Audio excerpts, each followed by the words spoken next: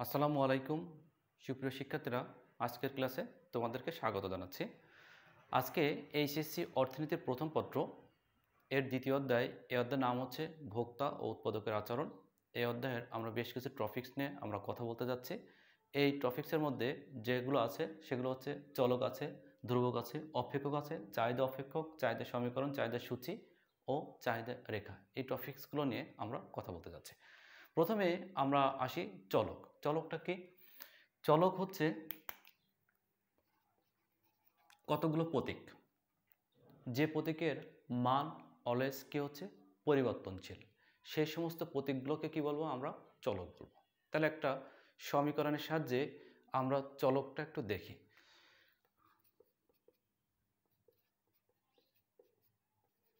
Y equal to ten plus two X ধরে নিলাম এক্সের মান ওয়ান তখন কি হচ্ছে? টেন প্লাস টু গুণ ওয়ান তার মানে হচ্ছে ওয়াইয়ের মান কত হচ্ছে? বারো হচ্ছে। এখন আমরা এক্সের মান যদি টু ধরি, তাহলে ওয়াই ইকালটা কী হতে পারে? চোদ্দ। এক্সের মান যদি থ্রি ধরি, তাহলে ওয়াইয়ের মানটা আবার নির্দিষ্ট মান আসতে পারে। এক্সের মানটা ফোর ফাইভ এভাবে এক্সের মানটা যদি আমরা হাজারো রকম চেঞ্জ করি, তাহলে ওয়াইয়ের মানটা কিন্তু চেঞ্জ হবে। তাহলে আমরা একটু খেয়াল করি, এই যে এটা একটা সমীকরণ, এই সমীকরণে এক্সের মান পরিবর্তন করছে ওয়াইয়ের মানটা পরিবর্তন হচ্ছে। এক্স এবং ওয়াই এই যে দুইটা প্রতীক আমরা ব্যবহার করেছি, এই দুইটা প্রতীকের প্রতীকই হচ্ছে চলক, কেননা হচ্ছে দুইটাই পরিবর্তনশীল। এখন আমরা ধ্রুবক নিয়ে যদি কথা বলি, তাহলে সেটা আমরা বলব যে প্রতীকের মান কখনোই পরিবর্তনশীল নয়, সেই প্রতীকগুলোকে আমরা ধ্রুবক বলব। তাহলে একটু খেয়াল করি। আমরা যে বৃত্তের পরিধি আমরা দেখেছিলাম C equal to two pi আর আচ্ছা এটা দেখেছিলাম না? তাহলে আর এর নির্দিষ্ট মান বলতে কি কখনো থ্রি হয়েছিল, কখনো ফোর হয়েছিল, কখনো ফাইভ হয়েছিল? কিন্তু পায়ের মান কখনো কিন্তু পরিবর্তন হয়েছিল না। তাহলে টু পাই মানে তার মানে three point one four one six গুণ আর এর মানটা ধরে নাও কখনো ওয়ান কখনো টু কখনো থ্রি এরকম মান কিন্তু ছিল।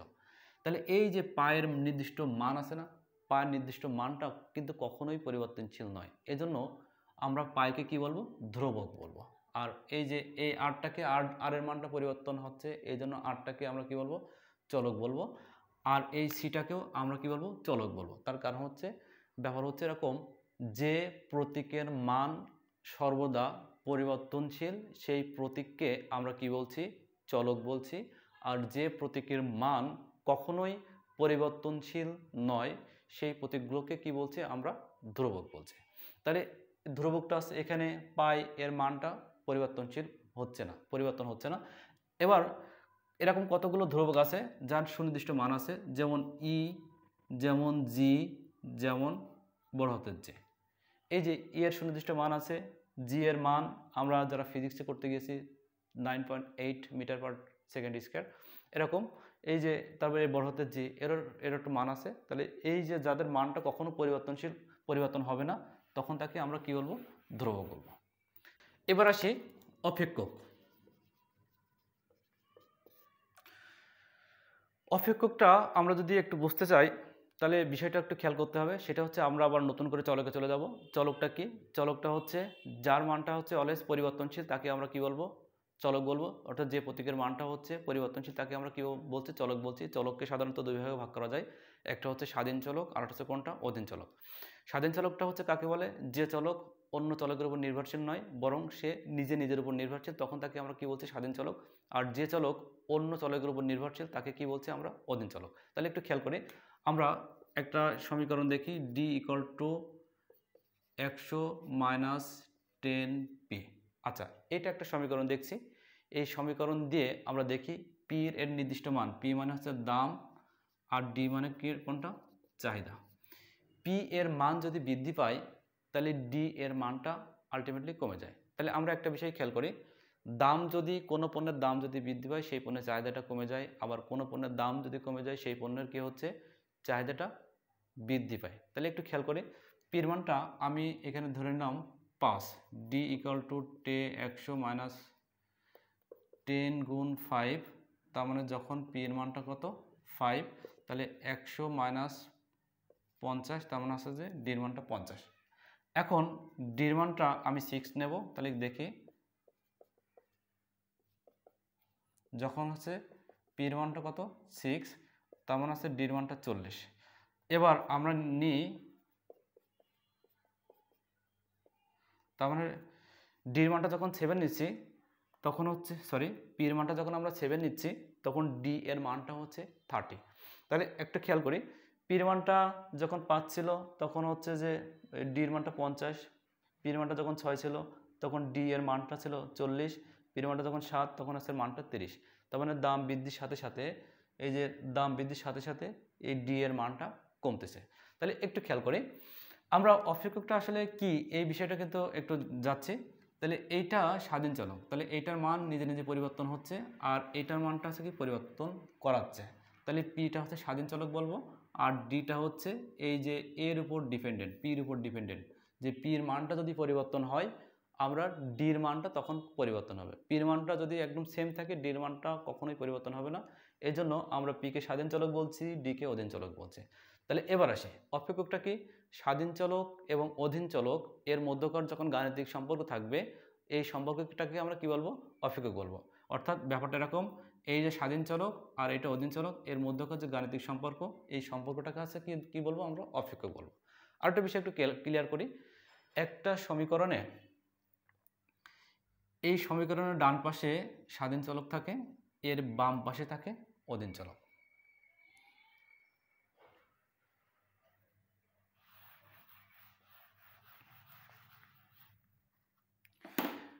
এবার আসি।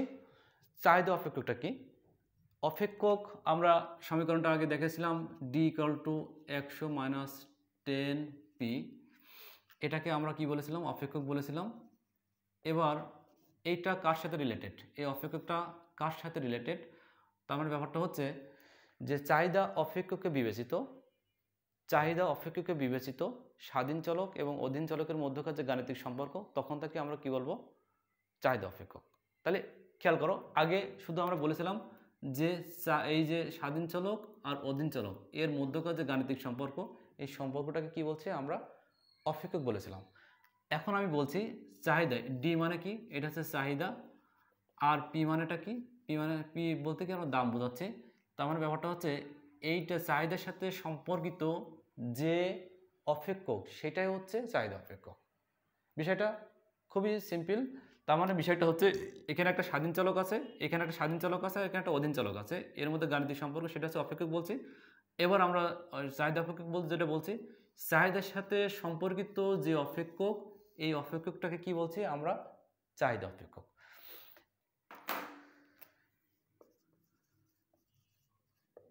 সমীকরণ। সমীকরণটা কি?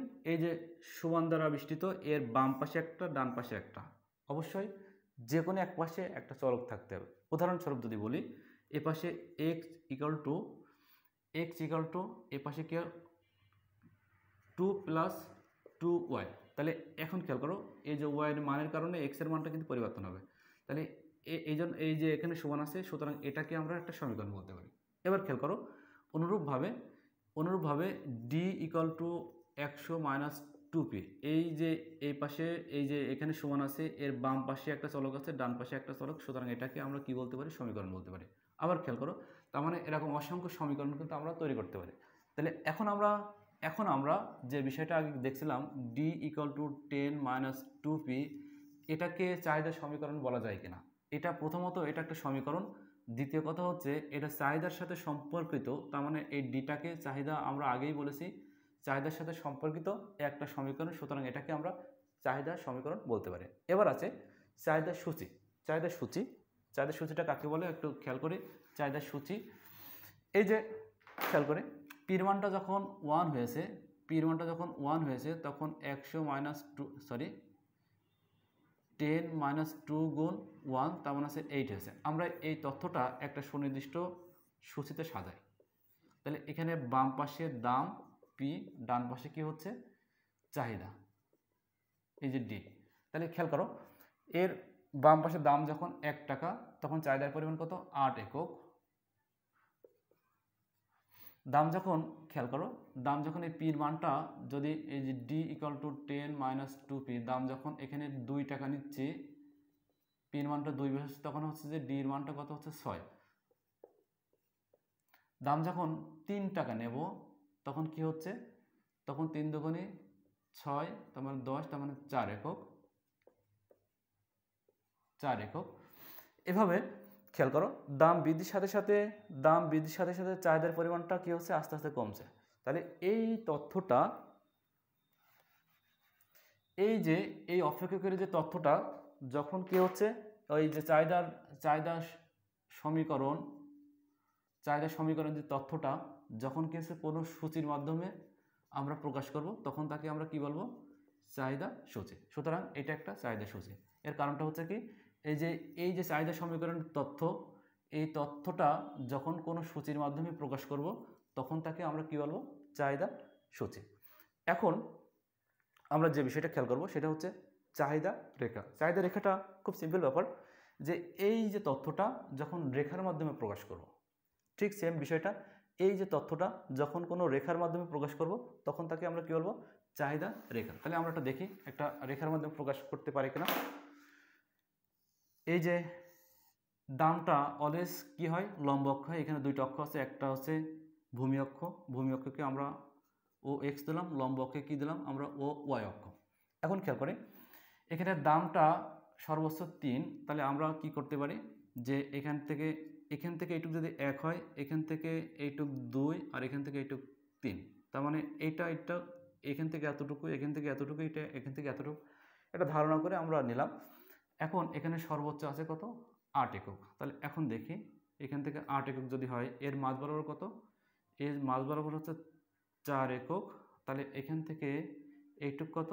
ছয় একক। ঠিক আছে? এখান থেকে এর মাঝ বরাবর ছয়। দাম যখন এক টাকা, তখন চাহিদার পরিমাণ কত? আট একক। তখন এইটা এবং এইটা সমন্বয় গেছে একটা বিন্দু পাচ্ছি। দাম যখন দুই টাকা, তখন চাহিদার পরিমাণ কত? ছয় একক। এই দাম এবং চাহিদার সমন্বয়ে আচ্ছা চাহিদা কিন্তু নিচে হয়, চাহিদার পরিমাণ। আর উপরে কিন্তু দাম, এটা দেখিয়ে দেবে, এভাবে দেখাইতে হবে।